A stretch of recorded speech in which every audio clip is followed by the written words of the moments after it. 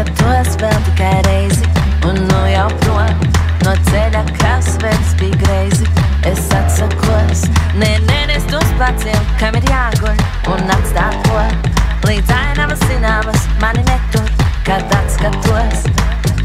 Caur sēdiem iet nevienu nenolaust, caur pulnu balsīm un tās nepārtraukt.